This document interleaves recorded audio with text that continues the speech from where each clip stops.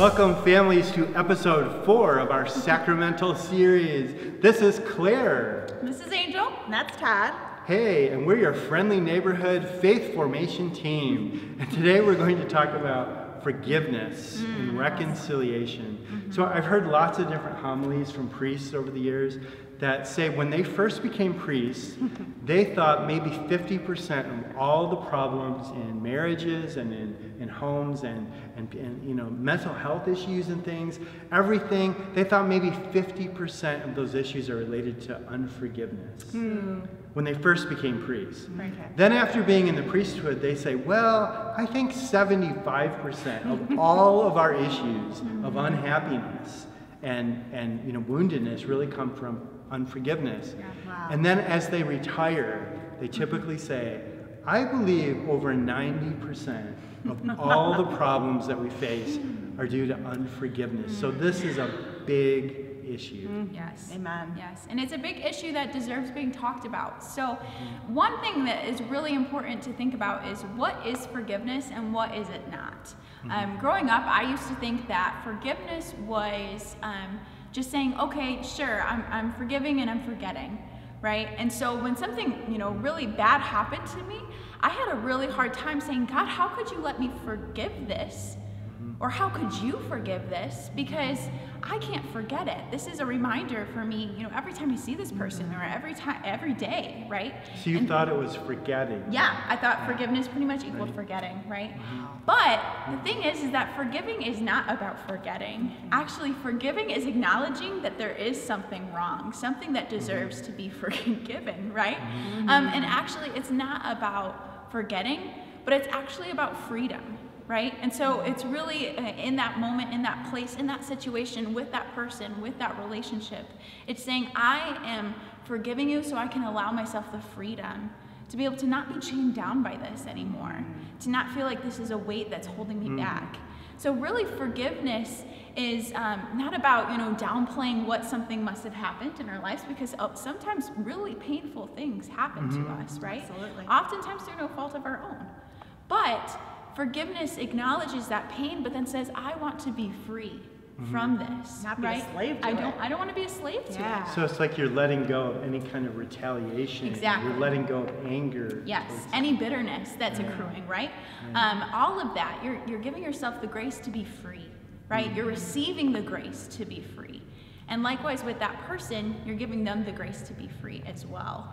Um, free from any shame or any guilt because we don't need to put that on them anymore, right? Not because they don't deserve to be sorry for what they've done, but again, it's all about freedom, right? And letting God really be the judge in that Right. situation and, and giving it to him and having it be in his hands.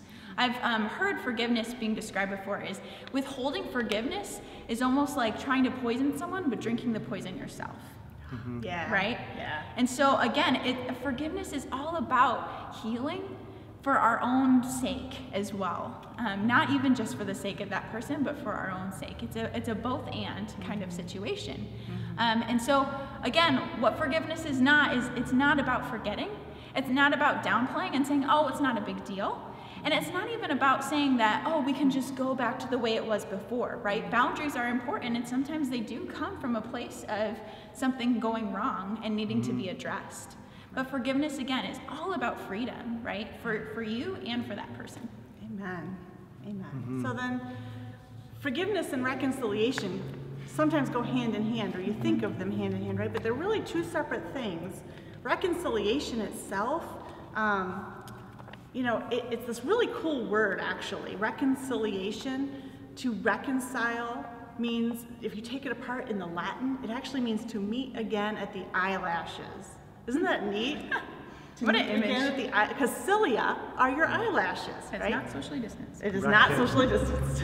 Reckon, reconnect at the eyelashes. Awesome. Yeah. well, it means to be again To be with again. the eyelashes, Right. right? So to meet again, eye to eye, mm-hmm. to be reconciled with someone is to be able to look them in the eye, to look eye and eye, eye to eye with someone, and and love them. Yeah. And like we said in the last video, love them means want what's best for them, Right. right? And vice versa, them to want what's best for you. That's really what reconciliation is.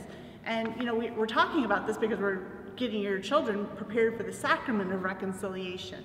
Right? And that sacrament has had different names over the years, and you'll still hear them, right? Confession and penance and reconciliation. But I think reconciliation is the best name to use for that sacrament because really that's what it's doing. Yeah. It's helping us to um, be able to be eye to eye with God again, Right. To be able to to not that we haven't committed sin, but to confess that sin, to to be freed from it, to be forgiven of it, and then to be eye to eye with God again Right. in relationship because it's all about relationship. God always wants forgiveness and mm-hmm. always wants reconciliation. Right. And Awesome. another another word, another way to understand forgiveness too, uh, that I had learned was it's to give as it was before, to mm. treat people as you did before this wrong happened, mm-hmm. to treat people the way it's supposed to be. Mm-hmm. Now, sometimes in human relationships, we might forgive, but we may not be able to reconcile.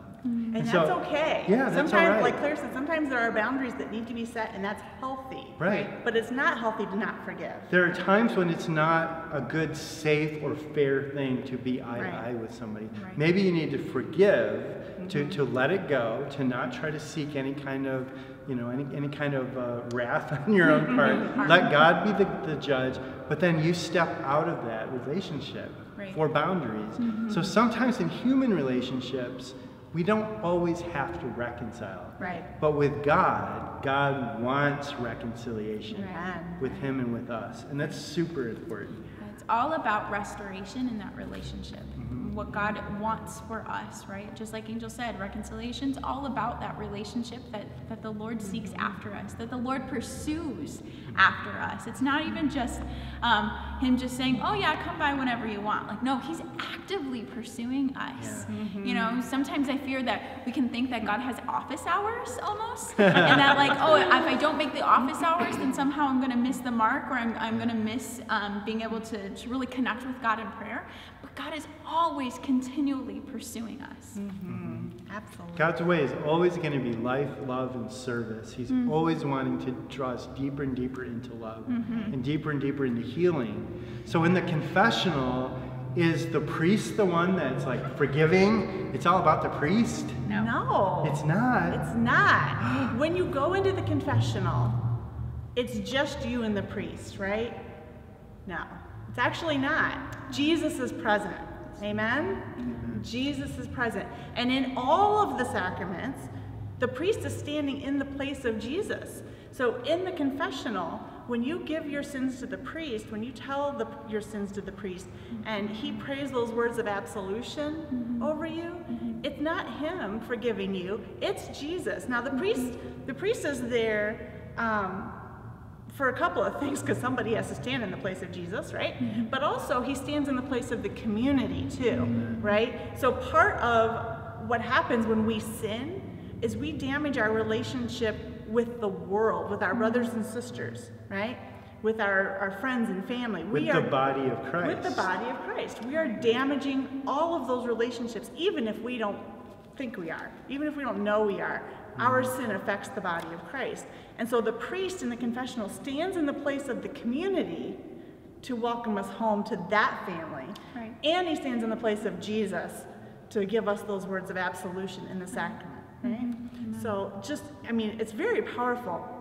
And there's no such thing as a private sacrament, even confession, because the priest is there as the community and as Jesus. Mm-hmm. It's not just me by myself.